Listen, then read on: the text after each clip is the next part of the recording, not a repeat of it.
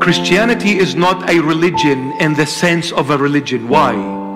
Because the moment you invoke the name religion or the word religion, automatically you are invoking a set of rules, guidelines, regulations, and laws. You go to all the religions of the world with all love and respect to them.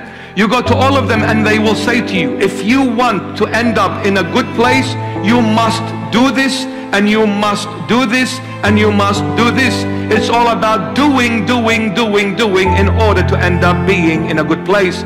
You come to Christianity, you read in the Gospel of John 15, 5, the Lord Jesus says it very clearly and simply. Without me, you cannot do anything. Totally different to any religion out there. Why? Because Christianity is based on love. I don't have the time. I have to leave you with it. Christianity is based on love.